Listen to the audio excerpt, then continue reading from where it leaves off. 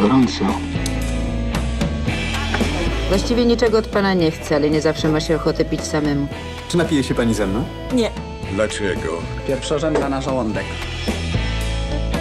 Patrz, patrz, dachnij się.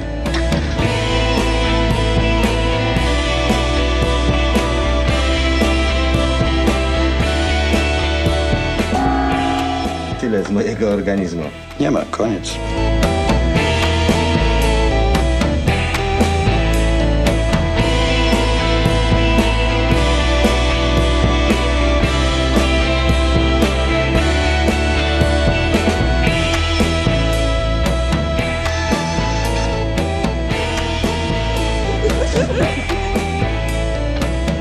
Cudowne uczucie.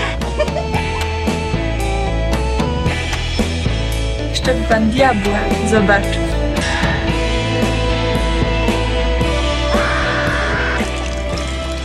Pokłócimy się.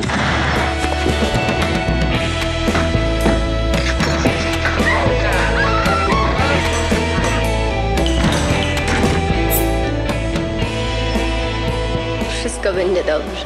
Może tak nie być, ale może tak być. Co pan taki ponury? To niezabawne, co mówię?